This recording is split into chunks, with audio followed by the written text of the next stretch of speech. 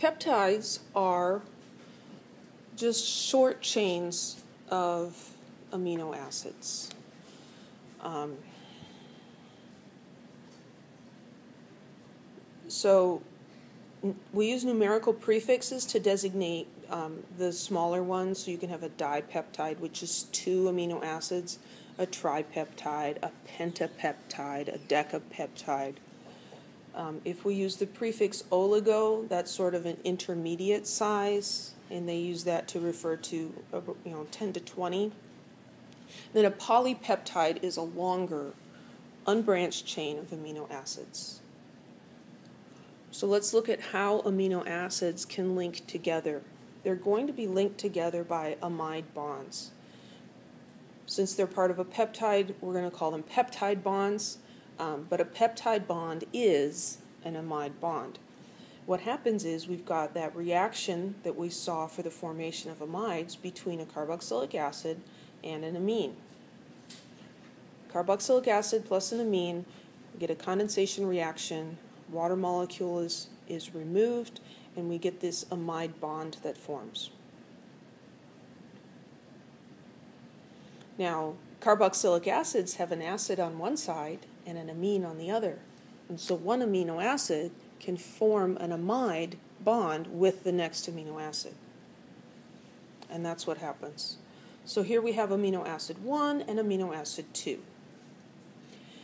And now we're going to see that this is sort of the standard way of designating or drawing the structures. This is not the Fischer projection. What the reason we do this is because it's convenient. When these bond together, we've got the carboxylic acid and the amine group forming this amide bond. And we'll end up stringing a whole bunch of these together the R groups hang off the bottom. It's a little bit like a charm bracelet, where we have this backbone of carbons and nitrogens, and then there's these little charms hanging off of it. So this is just showing two amino acids forming a peptide bond. This is just looking at the, um, the carboxyl group and the amino group and what's going on with them. So here's the carboxyl group and here it is as a zwitterion, so this is, is, does not have its oxygen, I'm sorry, it doesn't have its hydrogen. So here's the oxygen. And this amine group is protonated, and so we're going to lose two hydrogens off of this guy and the oxygen here, and that's where the water comes in. And there's our amide bond.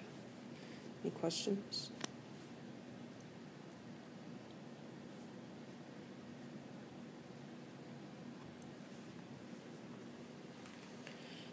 This picture is showing three different amino acids in a peptide, so this would be a tripeptide. This is glycine, alanine, and serine. And here the R groups for glycine is just a hydrogen, for alanine it's a methyl group, and for serine it's this small alcohol group. And so this becomes a backbone, and there is one end that's going to have the amine group and the other end is going to have the carboxyl group. This is called the C terminal end, and this is the N terminal end. And by convention, we always write the N terminal end on the left. So, kind of like with the carbohydrates, you could draw them in lots of different ways. But so that we can see clearly what we're looking at, we choose to draw them from the same perspective all the time, and that makes them much easier to look at. So we go from the nitrogen end to the carbon end with all the hydrogens and oxygens on top and the side chains hanging down.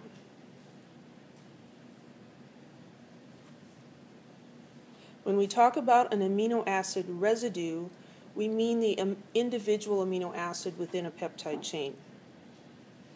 So let's see if I can circle one. So this is one amino acid residue. It's not really accurate to say that it is an amino acid anymore, right? Because it's missing its OH over here. and it's missing its H over here. But it's the residue. It's what's left when an amino acid forms an amide bond and becomes part of a peptide. We can abbreviate this tripeptide by uh, using the abbreviations for the three amino acids that form it. So glycine, alanine, and serine. This is gly, ala, ser. And this makes it much easier to identify what this is without writing all these long words out.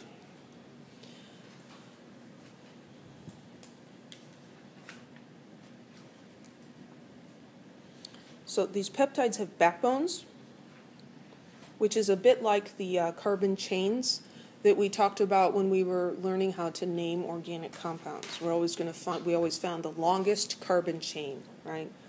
Well, when we have a peptide, we have these amino acids bonded to each other through amide bonds, and so we're always going to end up with this repeating pattern here.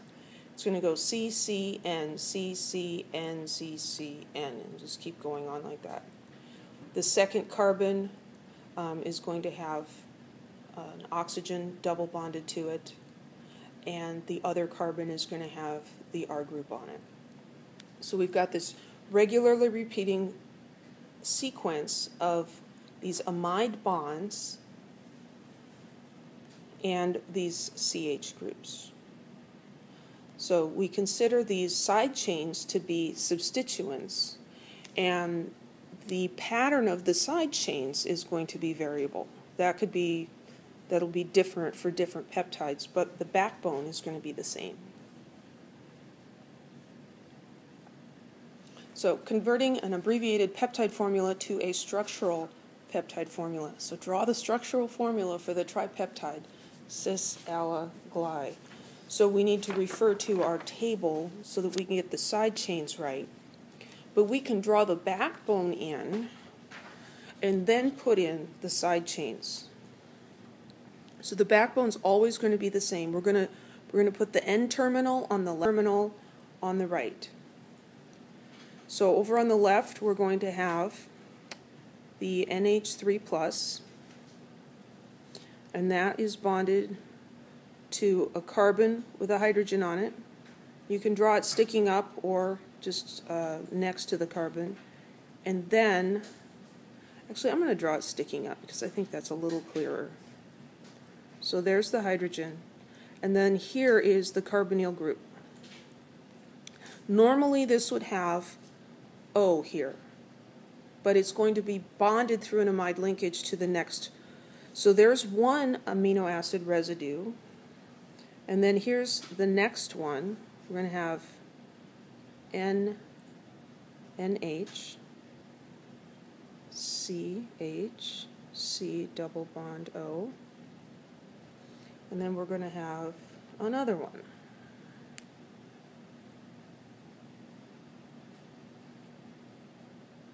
Oops, got ahead of myself.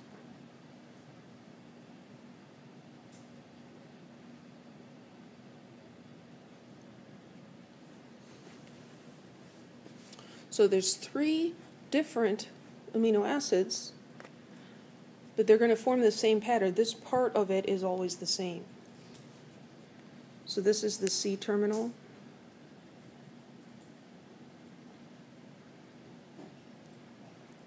The C terminal. Always on the right. The N terminal, always on the left.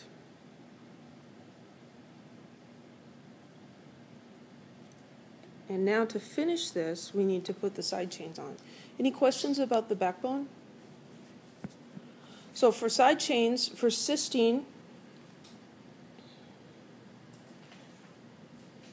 where'd you go? There it is. So CH2 SH.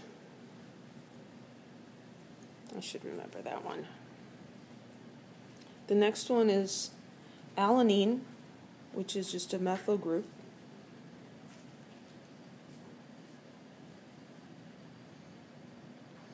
And then glycine is the baby, and that's just got a hydrogen. Oops, wrong carbon. That carbon's kind of full.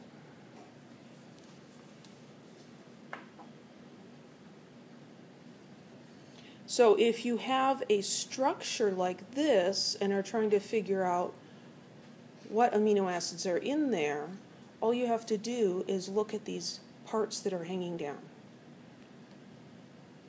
This one and this one. So this is cys Any questions?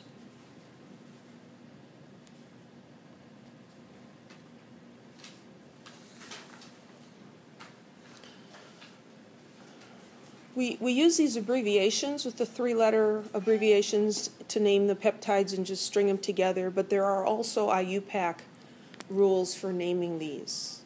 And basically, what we do is we take the amino acid names.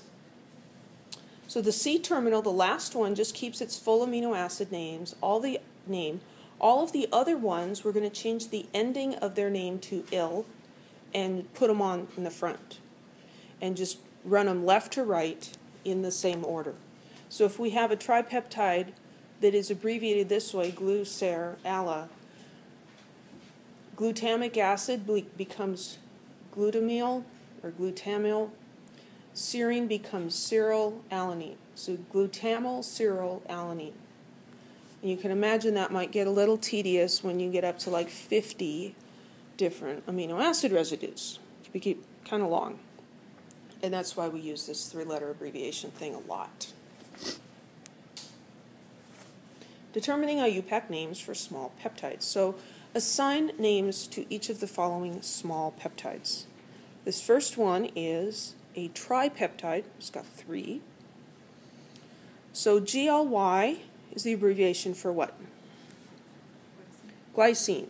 So glycine becomes glycyl and ALA is alanine, so alanyl. And LEU is leucine, alanyl leucine. Glycyl alanyl leucine. And you can end up with some funny looking combinations. We've got a double L in there, and we've got this YCY business, which looks kind of funny. So B then is a tetrapeptide, GLY glycyl. TYR, not to be confused with TRP, is tyrosine. So tyrosyl, tyrosyl, and serine becomes seryl serine.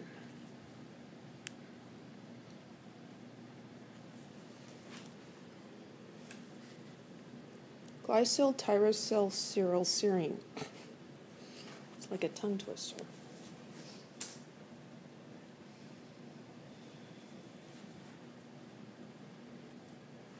The order is important because the ends are different. In alagly, we have alanine on the nitrogen end. And in gly-ala, we have alanine on the nitrogen end. These are not just reversed. They're, they are not the same molecule because the order is important. So if you have two peptides, two amino acids in a peptide, I'm sorry, you have two possibilities. We can put one first or the other first. And then as you get more and more amino acids strung together, the number of possibilities skyrockets. It actually, if you if you have different amino acids, no repeats, the number of possible isomers is n factorial. So if you have five, it's one times two times three times four times five. It gets pretty complicated. these the, the, these isomeric peptides have different properties and they are definitely different molecules and so we have to pay attention and get them in the correct order